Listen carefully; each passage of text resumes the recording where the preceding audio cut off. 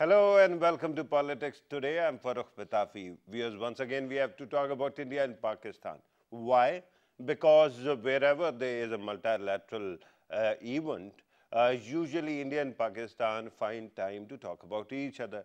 Uh, we can understand Pakistan's concerns because Pakistan is a country that has uh, faced uh, existential threat from India for quite some time. And we have seen that, something of that sort happening back in 1971, where India uh, tried to revise and actually succeeded in revising uh, region's geography. But when it comes to India, I don't understand what exactly uh, is behind this obsession.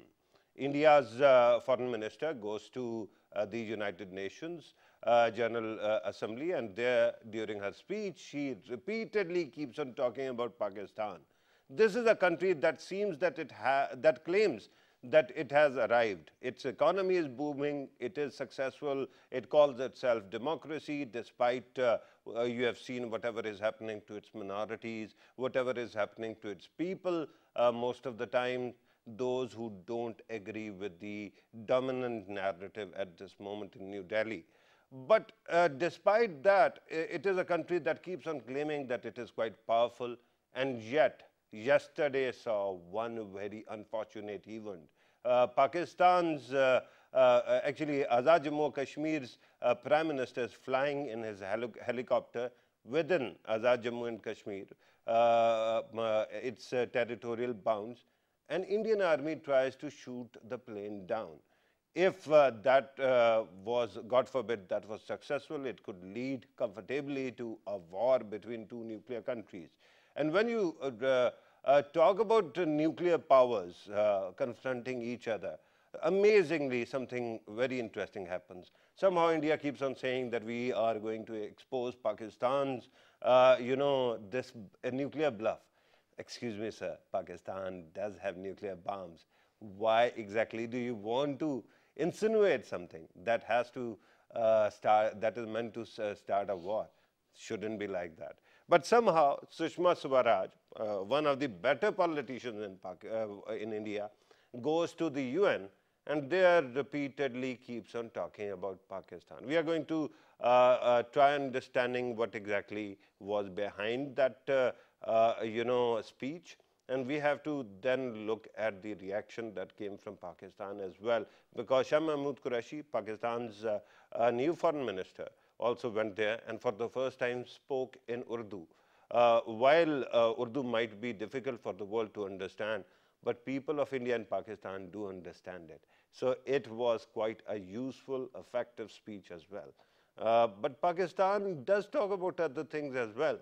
It is not as if India's uh, obsession with Pakistan is visible in our psyche as well. In order to help us understand these issues, we are joined by Brigadier retired Saleem Butt a defense analyst. Thank you very much sir, for being part of the program. Next to him is uh, uh, Dr. Shehryar Khan, foreign affairs expert, an expert on foreign policy. Thank you very much sir, for being part of the program. Next to him is Shaukat Piracha, um, a senior journalist, a columnist, an analyst, a talk show host, and whatnot. Thank you very much, sir, for being part of the program as well. And he uh, made me realize that uh, the UN chief uh, is headed to India as well, and he has made some statements about Kashmir. So we will try to actually take that discussion into cognizance. Thank you very much, sir, for being part of the program. Brigadier have to start with you. Why is it that India's foreign minister, Minister for External Affairs, feels so compelled that it, uh, she has to actually spend so much time talking or berating Pakistan in public.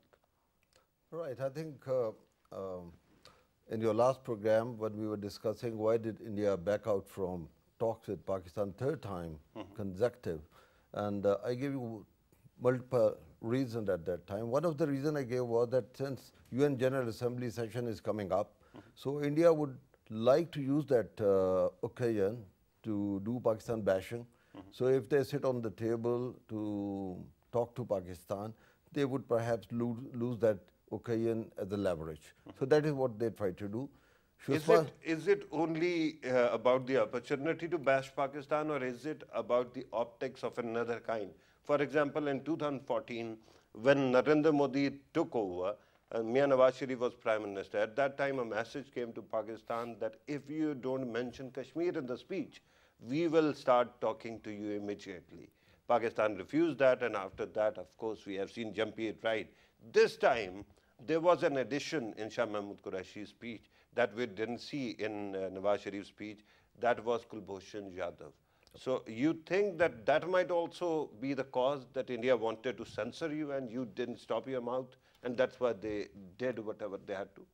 Right. I think uh, um, I'll continue what I was saying. Uh, the second ma main reason was, uh, which you agreed with me, that from December onward, for the next few months, uh, uh, 2019, it's assembly sessions in 11 Indian states. Okay. And out of those 11, six states are having uh, very live insurgency freedom movements like uh, Mizoram, Nagaland, um, and few other states.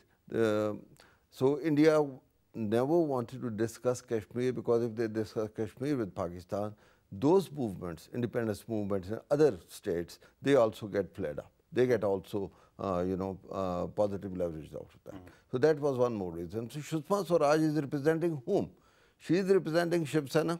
Okay. She is representing RSS and its political face, BJP. Right. Right. Technically so, not Shiv Sena, but RSS and BJP. But their ideology is the same, you know. Yeah, uh, fascistic. I, I yeah. quoted Sushma Swaraj statement. She talked to a, a political procession, then she talked to the assembly, and she said, I would just want to reflect her state of mind. Mm -hmm. So at the cost of repetition, I would say again, I quote her words that Pakistan is not our enemy. Mm -hmm. Pakistanis are our brothers. Mm -hmm. We have to embrace them. We have to hug them. We have to win them over, convert them back to Hinduism and make Pakistan part of India. Okay. So that is what you call Chanakya Kautilya uh, doctrine that they yeah. are following. Last time we also discussed this. Right. Let me go to Dr. Shehryar also. Your take, sir? Why does India, that claims to be a regional power, maybe a global uh, power with some grit as well, keeps on behaving as if it is Bangladesh or it is Afghanistan and it is somehow susceptible to Pakistan's political posturing? Well, uh, I think India is doing it very, uh, very in, uh, in, a calculated manner. The BJP government wants to address its own domestic audience because the elections are around the corner. There is a rise and they are pampering that, you know, Indian Hindu nationalism. So to, in order, you know, to pamper that and to get some votes, they, they are doing it. So they their main audience is domestic audience, you know, for the BJP. Internationally also, it's their strategy uh, to isolate Pakistan, which they, they couldn't do it uh, to isolate Pakistan. But what they want to do is that they tell the world that we don't, we, uh, we don't engage Pakistan, so it, it gives kind of, you know, um, it portrays Pakistan as if it's not, you know, a legitimate country with which, you know, even a neighbor could, could engage in talks and resolve the disputes in a diplomatic manner. So it's, they're, they're doing it as a strategy. Are you, are you, are you telling me, and Brigadier Saab was mentioning it as well, but mm. India has been telling us, or the world at least, that India is not a revisionist power. It doesn't yes. believe in revising the borders. Uh, and Pakistan somehow is. But we then see in 1971, where it actually took active part in dismemberment of Pakistan. Are you telling me that India now has become a revisionist power? Um, I don't. I don't see that it's a revisionist power, but it's an aggressive power now. No, but when when you say that Pakistan has to be brought back within the confines of India, and Muslims this, converted to Hinduism. This this this thought it it's now there. It's in also in RSS as Brigadier mentioned that they want this Hindutva this Indian nationalism, you know, to, to prevail and reconvert, you know, the homecoming thing. So it's there, uh, but it was they on the fringe. It was on the fringe in the past, but it's now the mainstream. Uh, it the, is uh, state ideology yeah, now. It's now the mainstream, it, and and it's also you know not good for India because in, the, for the integration for the integration of India, uh, they needed secularism. But with with such kind of uh, ideology, it's pol it's polarizing the Indian society itself, and polarization and division it favors BJP because then they can, Dr. you know... Saab, Dr. Saab, with due respect, secularism might be effective in uniting a people. There is a bigger ideology that actually unites people like no other. And it is the ideology of fear. And they have been using it to coerce their people to do whatever they want them to do. Mm -hmm. But uh, let me go to Shaukat Piracha Sahib. Shaukat Piracha, uh, you have listened to the two speeches and you must have seen this posturing. When I look at the Indian diaspora around the world and the way they are successful, just now we heard that IMF's uh, chief economist is going to be replaced by an Indian Uttarajan uh, lady and her husband uh, was former member of Indian Administrative Service. Uh, when you look at that diaspora, you think that they must have a lot of uh, gifts. But somehow the South uh, uh, bloc policy doesn't reconcile with that. What exactly is happening? Is India gone tone deaf? Or there is something new happening? That's why India cannot realize that this is not an imaginative posture towards Pakistan.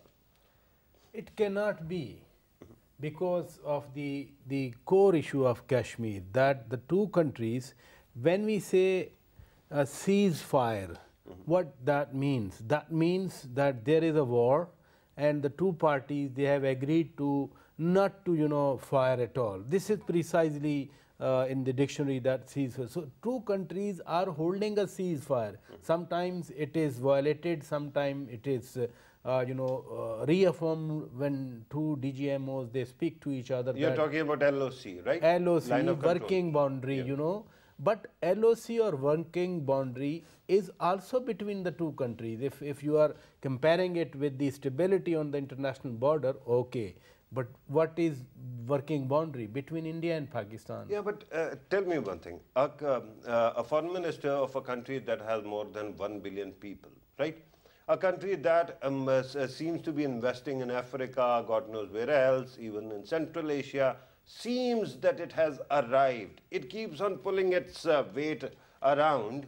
And there, yet, there, there their foreign minister doesn't have any other time, thing to do but because, to talk about Pakistan. Because, because, you know, the IOK, the Indian occupied Kashmir, is bubbling, it's simmering. Mm -hmm. And even the BJP members of the parliament, their media, they have visited IOK, Indian occupied Kashmir.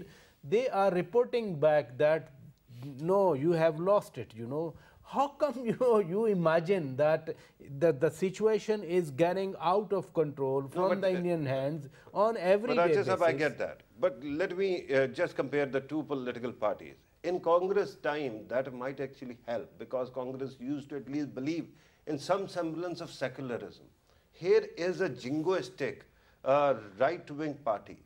And does it not suit them that uh, Kashmir keeps on burning so that they can stoke up you know uh, the uh, the anger uh, on the on the streets? That's exactly what i was referring. The if you watch some saner elements from the indian television they have the same argument okay. that engage them politically what mehbooba mufti is saying what farooq abdullah is saying mm if you know if you use the special power act mm if you use pota over there if you are going to scrap article 35a mm if you are determined to do away with 30 370 article of the Indian constitution, what will be the indigenous population of Kashmir? Think about it. I mean, look at this 35A. They are struggling, the BJP is struggling to implement their designs mm. that the, the, the, the population ratio should be changed there the demographic changes. demographic changes should be there. The non-Kashmiris should have the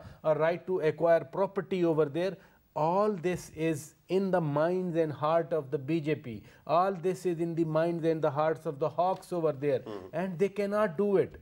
That's why they are resorting to this process. On the other hand, for example, you talked about Congress. During the Congress two tenure, they were having some kind of dialogue with Pakistan. Yeah. Some kind of dialogue, you know, where I met Farooq Abdullah where sorry, Umar Abdullah where in Islamabad. Mm. I met Mehbooba Mufti where in Islamabad. Mm. I met all these APHC leaders, Mirwaiz Umar Farooq Saab and other, except of Sayyid Ali Gilani Saab, all other leaders I met were in Islamabad because the dialogue was going on.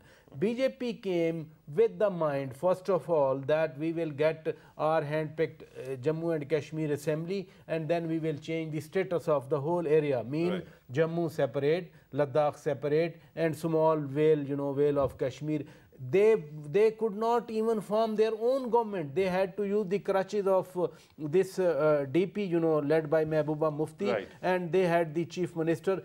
That also That's- could not continue. That, that's that's a very important point. But uh, Brigadier Saab, is another thing. I don't know whether you watch movies. Uh, there's a movie called Wag the Dog, and where a U.S. president is caught red-handed doing something wrong, and then he decides to change the conversation by starting a war, and uh, they actually started. And now it seems that Narendra Modi and their team's hand has been caught. Red, they have been caught red-handed with their hands in the jar uh, uh, regarding Rafale and everything else. Do you think that that might also be behind all this belligerism? I think uh, you got very- uh, gave a very good example, and you can find similarity uh, in the two phenomena as shown in the movie. Uh, but uh, as I said earlier, uh, um, that uh, BJP is a extremist party. They are not uh, on the internal front. They are not like Congress. Although on the external front, both would be the same.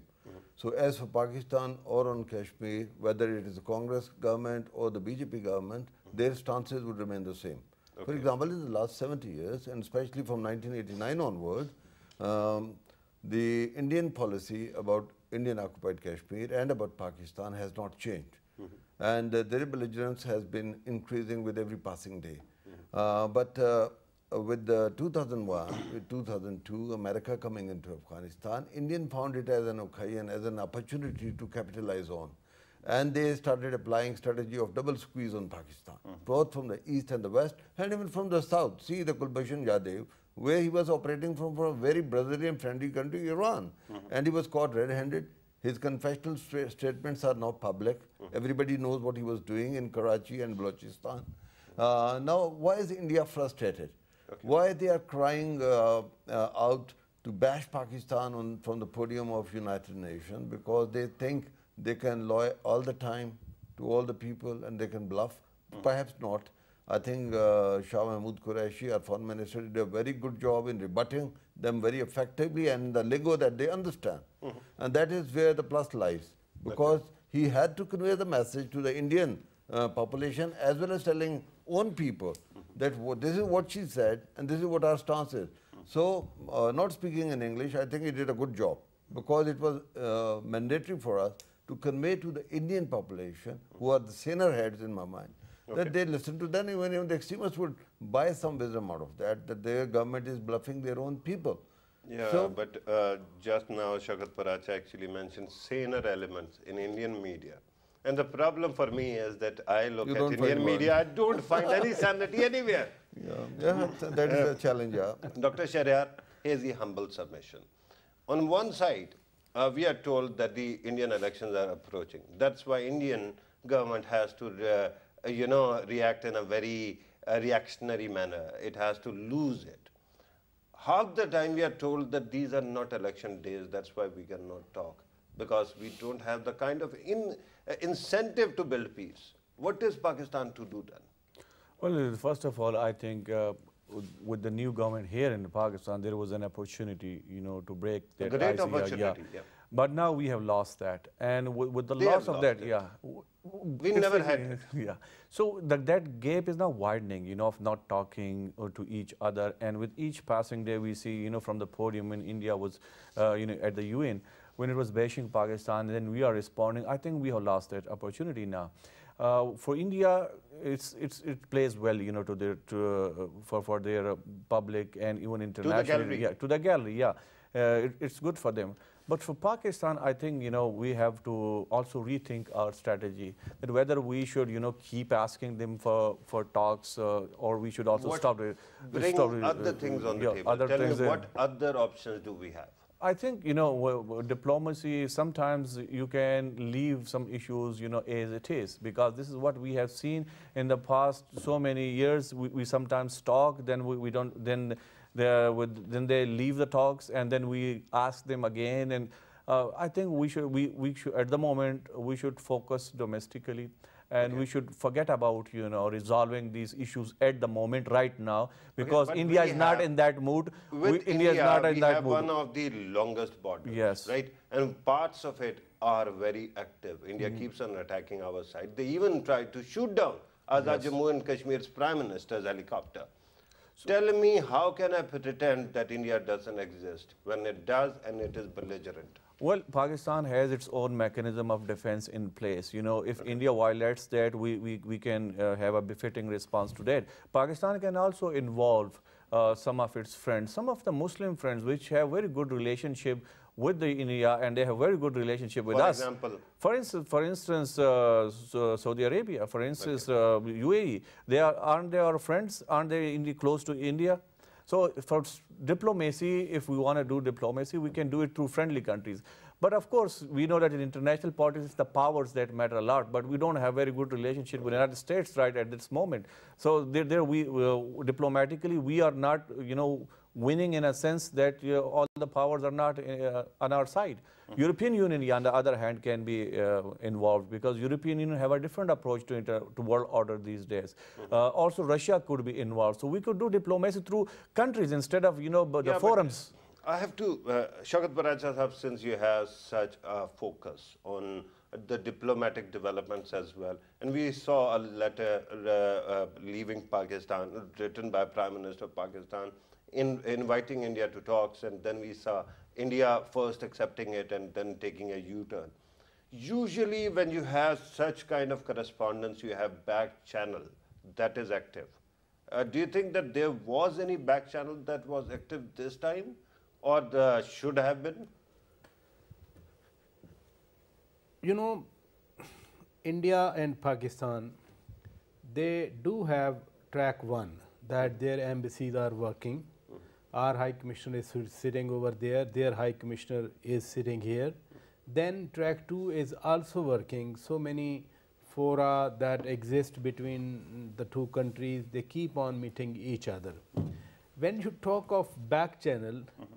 it must be back channel, you know, it should not be on the front. So, personally, if I say I, I know something, you know, that will be a claim because, yeah, because but uh, if you remember, in the past, Pakistan had a designated, uh, you know, go-between between Delhi and Pakistan, and they kept on working. And then he fo- was found dead. He died, unfortunately. Uh, uh, we do, don't know what exactly happened. Servants per- perhaps killed him. But we have seen similar kind of activities behind the scene for quite some time, and you know, that works during, and helps. during General Pervez Musharraf time, Tariq Aziz Saab was here, Subramaniam was there. Yeah. Then, you know, came Sherjar Khan from here, the other side. Then our Yeah. national security advisor, uh, General Nasir Janjua Saab and No, in, Ajit in, the, in the middle came Naik Saab Naik also. Saab Yeah. earlier, you know. Uh, things were moving forward. This time, when you talk of the letters, Prime Minister Narendra Modi was the first to write letter to Prime Minister of Pakistan. Yeah, to Imran Khan. congratulate him, right? To congratulate, and in, uh, there was a sentence that uh, we there should be constructive engagement between the two What? countries. Aman ki bhavna? That kind of language is Vajpayee- always used. Vajpayee has, uh, the, the, Narendra Modi has also been talking in his public speeches that if we have to compete or confront each other, let's do it or let's compete in elimination of poverty. That's also on the record, you know. But then, he, then Prime he doesn't believe in eliminating the Then- poverty. then eliminating poverty, he believes in eliminating the poor. Go ahead. Then another show for that is fine. Yeah, you know, we will do talk- that, When you, you, you want to talk politics in the two countries, that should be there. Since we are talking of the relationship between the two countries, you know, it's a very sensitive relationship. Uh, it's a context always has been animosity between the two countries. Then the plight of Kashmiris, you know, look what happened uh, this time after years and years that some UN commission they published a report on the plight of uh, human rights within the Indian occupied Kashmir. Perhaps, perhaps that gave more credence to the claims of the Kashmiris than to us what we Pakistanis have been And do you know what about. happens after that? UN ambassador, US ambassador to the UN actually takes America out of that body. That is how You were talking of the Indian diaspora. Who is Nikki Haley? You know? Yeah, so, so the context has to be kept in mind. But she doesn't make the policy. It is Donald Trump that makes policy, She right? is part of the policy making. The hawks in the U.S. administration, Nikki Haley is one of them. You know. So with due But- respect, but- then where is our Nikki Haley? we have to live in this scenario. I mean, if we start complaining that since Indian diaspora is very active and they are part of the policy, you are right where we are. We have to be in those fronts. Unfortunately, our you know uh, expatriates they've been uh, just living as economic migra migrants wherever they have been.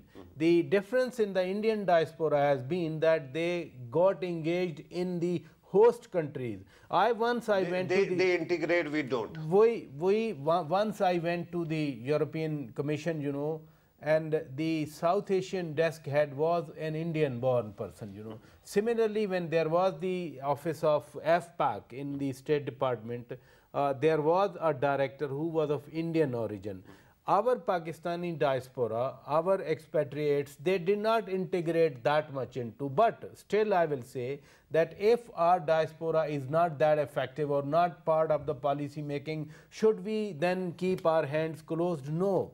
We should, as a nation, you know, they are earning for us that's their contribution Right. already a lot of contribution that that if the at the moment you know your exports are less than the remittances that the expatriates pakistanis are sending back i think that's also a contribution. Right. dr Saab was just talking about that we should put our house in order the first thing is economy Yeah, but- first thing is our exports you know Putting your And- house and- in order and 24 no, no, 7 no. talking No, no, about no, is, are two no, different no, things. No, no, my, you keep my- on saying that. No, no, no. My point is that the if I blame expatriates of not doing what Indian diaspora is doing, I'm just defending our expatriates. Yeah, yeah. That they are already already I- I contributing. that. They are already contributing a lot. You know. Right, um, but sir, Brigadier Saab, uh, this is a question for you, and you have to actually explain to me this wisdom behind the idea that Pakistan has not engaged lobbyists in foreign countries.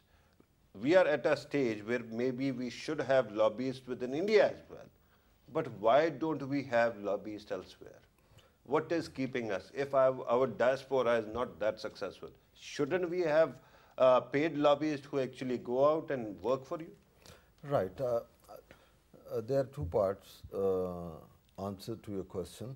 One is that uh, uh, Piracha Sahab rightly mentioned the importance of diaspora in projecting your country, projecting your country's stances, national narratives. Ultimately, the world is now more seen in the light of the narratives that you spread rather than the realities on ground. So this is India as a strategy. Uh, I think from 90s, early 90s onwards, they started sending their youth abroad on scholarship to different parts of the world. Right. And uh, the task that they gave to them that you don't have to come back. You have to represent your country there.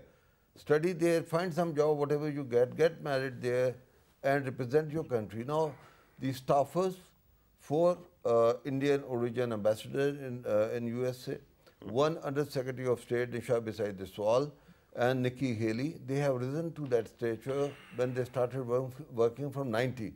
Now, if Pakistan government makes such a policy, so it will take about 30 years for, for our diaspora students to rise up to that level. So that is You part have, one. you have qualified my point. Right. Why not go for a lobbyist elsewhere? Right. No, no, no, lo- lobbying by the diaspora is one part. But then there are professional uh, lobbying firms uh, in, in Europe and more so in America. They charge you millions of dollars a month in order to work for you. Okay. Right? It is not that Pakistan had not tried that. We had tried that. And some of the lobbyists that Pakistan government hired, they were used for personal projections Okay. and not for the By whom? government. People's Party?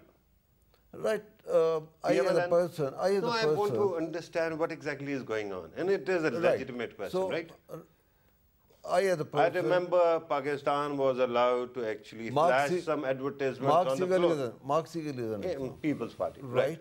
Okay. So I hate to discuss the political person or the parties, but as a government of Pakistan, Yeah. every government that came up, they sent non-professional ambassadors to very important countries like UK, like USA, and you know the people. Mm-hmm. Those ambassadors did more harm to Pakistan than good. Okay. And the, uh, the, the lobbies I that they am sure you're thinking about only one person right now, Hussain Haqqani. Nobody else, right? And who was there in London? Okay.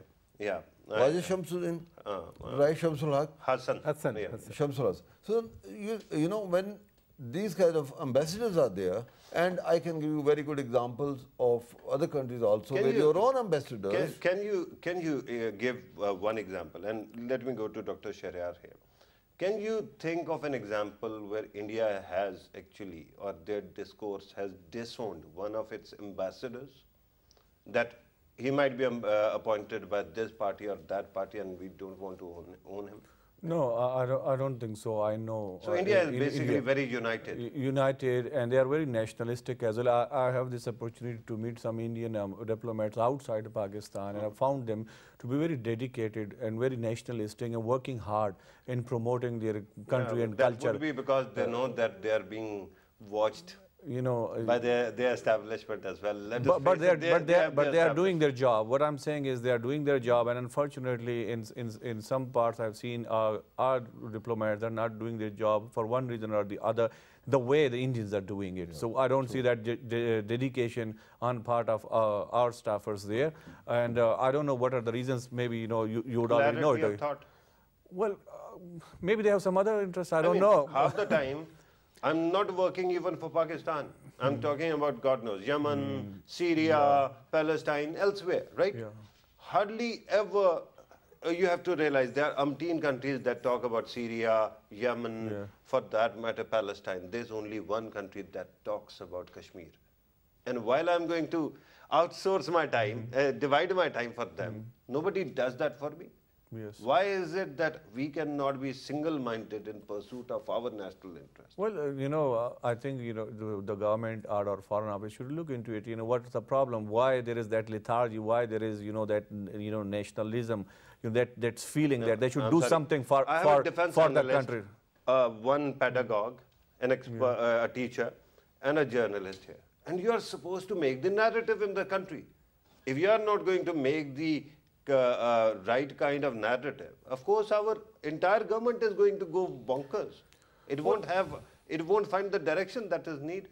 Yes, uh, I, I think as a whole, you know, in, in our country, we, I don't want to go into the politics of our country. We are a bit, you know, divided on these things. Um, how, you know, what should be our country, how it should run, and what should be our priorities. We are a bit divided on that, and we have seen that, you know, look, our economy speaks for itself. That how how we have been doing. So this this has crept crept into everything, you know, even into your diplomacy, and you know, I've seen them, you know, taking very little interest in what they do. Of course, there are some people. I don't want to blame everyone who, who are doing great job, and I know some of them uh, in different countries. But that's that's one uh, one of the reasons. Even I may tell you that Bangladesh is doing quite better than us when it comes to uh, diplomacy. Trade, trade and economy particularly. Yeah. But uh, even in that, one has to realize that that free lunch that Hmm. was there, that was helping India, that was helping China, Bangladesh, so many other countries, is almost over. Now we are Hmm. living in a trade war zone. And that is why maybe they won't get that kind of free lunches. But you, uh, before you said corrupt, you uh, used the word creep, right? Uh, it was accidental, but I will make good use of it. Uh, in the previous program, Brigadier Sahab was talking about Ajit Doval.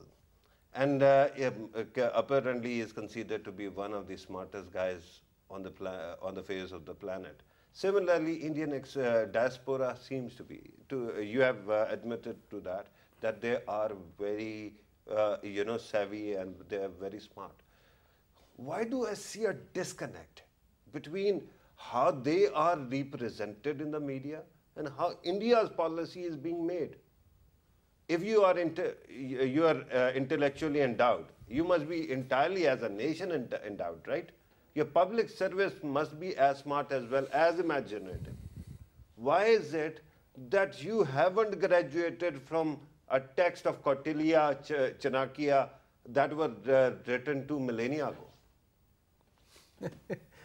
I mean, if if you really want to ask me that why the the entire India is mono- monolithic, I will not agree. The entire India is not monolithic. you know. Resourceful, imaginative, Smart? There is not smart even, you know, not the entire BJP very smart, you know. Mm-hmm. I mean, we we discuss even in your show many times that the policies of the BJP they are leading for some destination of India which is not even you know useful for them. For example for example the plight of the minorities over there i'm not talking of even the religious minorities that the bjp is uh, treating them like muslims or christians within the hindu you know low cost uh, population for example dalits you know mm -hmm. that what bjp is showing is not you know uh, fruitful for the future of india we discuss in your program right so how can now i give no, an I, argument I, I get your point. point and yeah. Uh, with due respect last time earlier you were talking about the same thing and I, at that time I was thinking saving India from within the challenges they have is no, not my lookout, right? My lookout is to see how it behaves with the rest of the countries, especially mine. And the problem is even, a country even, that has suffered even my dear, yoke of imperialism even, for 2000 even years. Even my dear, even my dear, learn. on the question of the neighboring uh, countries' relationship I cannot say India is monolithic, that the entire population of 1.2 billion of Indians, they are uh, ruthlessly against Pakistan or against China they or against their other neighbors. They might not be. They, but they, they are not ruling even, India. Even, if a Marathi, a Gujarati, a Kashmiri, a Punjabi can all contribute to India's national interests abroad, why is it that that kind of imagination is not seen in Indian government's own policy making. That's why the Indian government or the ruling party, when you say Indian government, I must say ruling party, uh, why Rahul Gandhi last week said that our prime minister is a thief when Rafale scandal was there. Yeah. I'm quoting Rahul Gandhi that he said. Then use uh, quote marks. So, where, what, who is Rahul Gandhi? You know, some states the Congress is ruling. Is not that India? You know, is not they Indian, are not they Indian that are, you know, uh, labeling or painting their prime minister as as uh, uh, as a thief you see? Okay. so when when we say you, you are just but, saying but, but you, on Kashmir, saying, Rahul Gandhi I, I, uses the same kind of language. If I am finding some sanity or hope in Congress then I tell you I am exploring a dead horse because in India at this moment, I don't see Congress actually as a challenge. Another thing, another, I come to this, another thing, you just said that there is no saner element in, in, in Indian media. I mean, Kuldeep Nayar worked for peace. Where, where is he Gupta, now? Where is, uh, remind me, Kuldeep Nayar, where is he now? He's dead. Thank you. Shekhar Gupta is alive. Arundhati Roy. Gupta, have you seen his tweets? Arundhati Roy Arundhati Roy is not a journalist is alive. So I mean, no, you know, she's not a talk so show. Every every country, every country, the hundred percent population is not the one that we should label. Secondly, you are you, you the uh, sorry, you, other part of your question I forgot because so many. Yeah, mix, we have to actually up. argue about right, these we can come back. I, I just want to add few comments that uh, you know, and by the way, just uh, uh, so that you know, Brigadier Sahib, you don't have to wait for your turn. Now it is Royal Rumble. You can oh. jump in whenever okay. you want. But I think uh, a courtesy demand that one should allow others yeah, to express fully. Shaukat Piracha is a very dear young brother, so I'll give him full time. Okay. But I just want to add few uh, comments here. That a diverse country like India, having 28 states, mm having 300 insurgencies within the country, and out of 300, 30 are very, very live insurgencies, independence movement. So in order to control that diversity and those vociferous parties and elements, they have to have a common enemy. So that common enemy happens to be Pakistan. Pakistan. That is one. So yes. why not China? You know, why not America? Why not because the I, Indian I Ocean? You, I give you the reason because they tried it with China in 1962. They got a good benefit, and that thereafter they forgot about China, and Pakistan became an ideal state because of various reasons. Some to do with our internal affairs, and some to do with the external affairs. That India made use of that.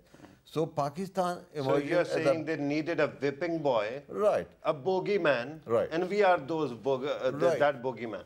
Exactly. So that is what that gives them unification on the internal front when they do Pakistan bashing. Mm -hmm. Now coming to the frustration that India, Indian media Indian Prime Minister, Indian Foreign Minister, they express on every forum. Uh, UN General Assembly being the biggest forum where you are talking to the whole globe. So you, she utilized that occasion. Why? Why that frustration? Because that double squeeze strategy that they applied on Pakistan since 2002 is badly defeated by Pakistan. Mm. I tell you how. They created the biggest proxy using Afghanistan soil as Tehrik-e-Taliban Pakistan. Mm -hmm. We gave 100% proof to all uh, nations of the world, including America, with all the evidence, their funding, their equipping, their weapons, equipment, to the extent of their rations and ammunition mm. were provided by India yeah. from the 28 consulate that they had all along our western borders. Mm -hmm. Number two, they had a big proxy created in Balochistan by funding and arming the Baloch subnationalists, primarily the BLA. Mm. They have been badly defeated. You have a now very vibrant democracy in Balochistan. So that is a frustration point two. Number three, they had got ingress into the uh, MQM militant headed by Altaf Hussain in Karachi. You know their fate. So there are three proxies that they had made a lot of uh, effort to create. They have been badly defeated. Mm. So they are not being uh, of use to them. Mm -hmm. So that is the expression of frustration from a big appointment, Sushma Swaraj, from a very big podium, but then again, as Imran Khan tweeted, that uh, small people occupying big offices. Okay. So she just you know proved herself uh, to be very uh, small. With due respect, when it comes to a woman and when it comes to a right. person who's shortish in, an, in stature, I won't use no, that, it is that not, language. No, it is with not. Due respect. No, it yeah. is not her physical stature. Yeah. It is the stature of her intellect. Actually, I think Right? I think very, very high of her. I've uh, listened to her work. She is quite a smart woman. But the problem is she is not the one who is making this policy. It is, you, as you have pointed out, uh, Narendra Modi and Ajit Doval. And she is part of that deep states, you know. Yeah, no, the entire I have been hearing, is a deep state. I have been hearing. I would have used another kind of language, but I don't want to. Uh, uh, you, uh, you sir, now tell me, how long am I going to pretend that there is no India? India is sitting next to you, right? It is quite belligerent. It keeps on flexing its muscle. Its army also seems to have lost it the way they were ready to start an international incident yesterday. But simultaneously, Pakistan has to find a way forward. If we are waiting for 2019, that some miracle is going to bring in, uh, you know, Rahul Gandhi to the government and BJP will be done away with. That, that doesn't seem to be the case. And what is the security that uh, Rahul Gandhi, when he is empowered, will not be as mean to Pakistan as BJP? So I, what I are we supposed to do? I, I don't do we even focus on these questions now? I don't see we should have any hope, you know, from any government there. But uh, at least we can have some expectations after the elections, whatever the government comes in. Uh, then probably we, we can, you know, start something with them. Even then, I not, believe, even it, then, Dr. even Saab, then, is it not like prolonging your misery by waiting for another date in the future? When so something we, of the same sort at the happen moment, now? Right now, we are moving in opposite direction, so we are not uh, coming close. The other thing is, as like long as there is the ocean, on the other hand, as long as there is no third party in the dialogue, as long as we agree with India that you know the, the, the talks would be only bilateral, and we have agreed on that. I think uh, uh, there would always be that issue that we will talk for some time and then something would happen in India and India will go back. And then there would be no mechanism for bringing them back. So as long as there is no third party, uh, for mediation and to force both uh, the countries, you know, to, to, remain on the table, I think uh, it would happen again, even if we start talks. Yeah, but we have experienced that, you know. Uh, but Dr. Saab, here's the problem, and this problem is quite visible. India never comes to the table without being pressed by another, a third country. Hmm. And uh, somebody facilitates that process. But usually what happens is that since India portrays itself as powerful and it projects that it is angry also, the madman doctrine, hmm. it usually takes a lot of bribe before even coming to the table. Hmm. The country that might be our ally is bribing them to come to talk to us. And what is the outcome of those talks? Nothing. India so, gets so, richer, so I get poorer. I think the, the, third party that Dr. Saab is uh, mentioning, I think uh, uh, I don't see any third country who will be um, pro-Pakistan when it comes to India and Pakistan, even America or any other country. No, no. China, there, China, China. No, China would not be acceptable to India. So yeah. hoping China to play a role, probably if, it's a far cry. If China withdraws its money, but what I want its money is from Indian market, it will sit down. Well, I, if it I, withdraws I, money from America, it will sit down. Sit down is one thing, but then crash actually. You know, getting up without any any result is, uh, for me, what I wanted to say was that if third party has to be used, has to be UN, mm -hmm. UNO. That has to be the third party because UN Security Council 18 resolutions are there. And let me remind you, this discussion started by quoting the speech, uh, speeches to UNGA. I'm told that we have to conclude, but sir, give me some hope that there is a way forward. UN Secretary General is coming to India. Mm. You know, what I want is to remind Is he coming to Pakistan as well? At the moment there is no okay. plan that I know, you know. I wish he was so yes, that he exactly. could play so, the shuttle so diplomacy. A, as a citizen of South Asia and a, as a citizen of the, the, the entire world, I will remind him that what about the resolution that the UN has uh, passed and promised the pledge, uh, uh, plebiscite, you know. Mm -hmm.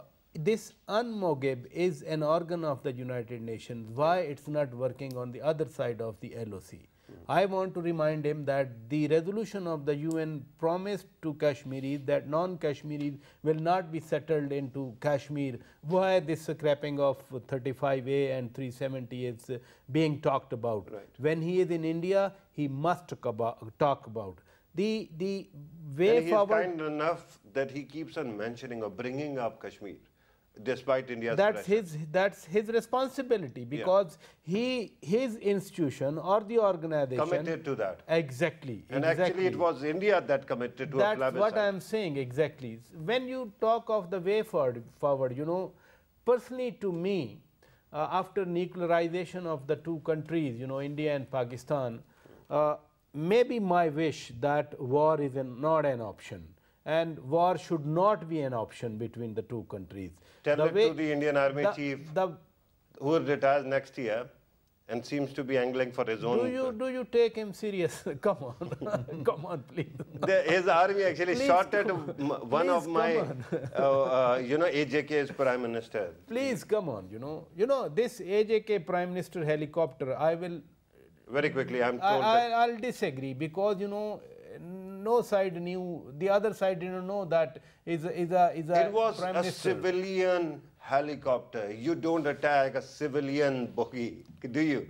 But uh, in any case, Shaukat Piracha the firing was thwart, to thwart its journey, I believe. You yeah, know, but it, it, it could have led have, to a very yes, horrible yes, incident. And we know the kind of interviews their army only, chief has been giving. Way forward is only the dialogue, nothing else and who tells it to India, right? So uh, who has to break it when, to India? When, you know, when there have been talks successively, 60s Bhutto Swaran Singh talks, right. you know, right. then in 70s, then in 80s, you know, We keep on talking about talks, right? Uh, some Thank you very much, sir. Uh, Shaukat Piracha Sahab, I'm told that we have overstepped our bounds of time. Thank you very much for your time. Dr. Shehryar Khan, always great having you in the show. Brigadier retired Saleem Butt thank you very much for your time as well. Viewers, you have listened to our participants. Uh, it, is, it goes without saying that India actually wasted a huge opportunity to reset relations with its neighbors. Of course, uh, it comes straight from the books of Chanakya, written 2300 years ago. Uh, how current India is, you can see in its strategic mind. Uh, uh, never to befriend the neighbor, always squeeze the neighbors and befriend their neighbors so that you can expand whenever you want to. It is his words, not mine. And this is exactly the kind of uh, parochial vision India seems to be pursuing. But the problem is, at this moment when you uh, look at various countries, uh, we see an erosion of democracy and sanity. And somehow we keep on waiting that this, uh, this uh, phase is going to pass and somehow there will be bright light ahead. What if it is the new norm? This is something that seems to be happening in New Delhi, in umpteen other parts of the world, even where we thought that they have some semblance of very stable, uh, you know, liberal, moderate democracies. Now we see that that is no longer the case. So do we have any plans for such a world? If we don't, sure, is it not about time that we start thinking about those policy options as well? This was today's program. Thank you very much for watching us. Take care.